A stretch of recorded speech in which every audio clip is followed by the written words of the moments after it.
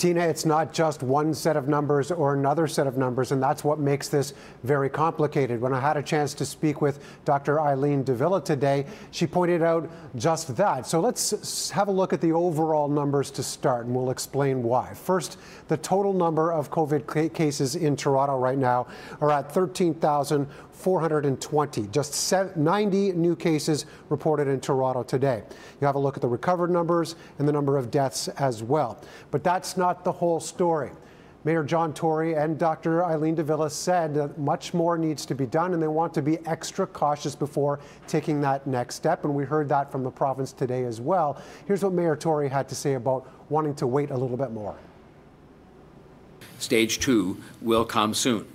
But I want it to come when it is safe for everyone and for their families and for their uh, staff members, based on professional medical advice that has guided us well throughout this pandemic and has saved many lives and stopped many people from getting sick.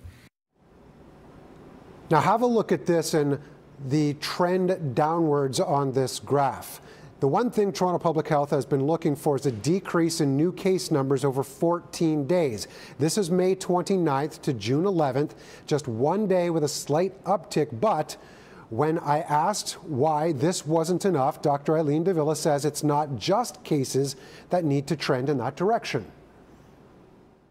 It's a question of making sure that our systems are all ready to go so that we can do this in a safe and successful way uh, and so that we don't have to take a step backwards. I think these are the important considerations beyond focusing on any one figure or number.